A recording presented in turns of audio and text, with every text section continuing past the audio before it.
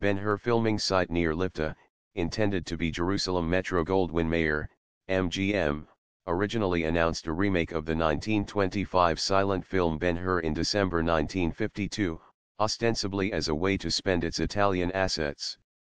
Stewart Granger and Robert Taylor were reported to be in the running for the lead. Nine months later, MGM announced it would make the film in CinemaScope, with shooting beginning in 1954.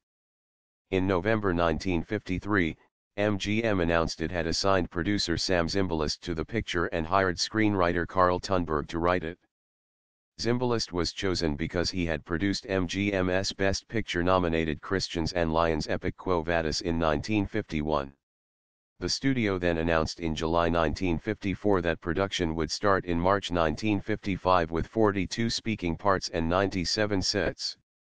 MGM said Sidney Franklin would direct, that the script by Tunberg was finished, that shooting would occur in Rome and in Spain, and that Marlon Brando was up for the lead.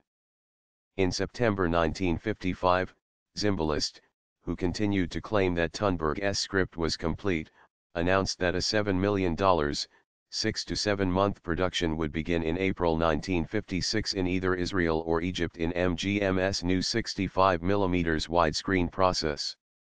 By the late 1950s, court decisions forcing film studios to divest themselves of theater chains and the competitive pressure of television had caused significant financial distress at MGM.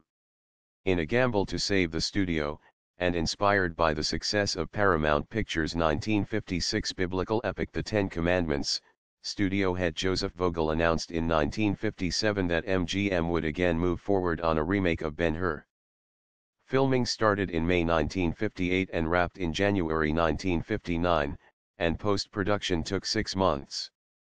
Concerned that a roaring Leo the Lion, the MGM mascot, would create the wrong mood for the sensitive and sacred nativity scene, Wyler received permission to replace the traditional logo with one in which Leo the Lion is quiet. It was the first time in MGM history that the lion logo was not seen roaring.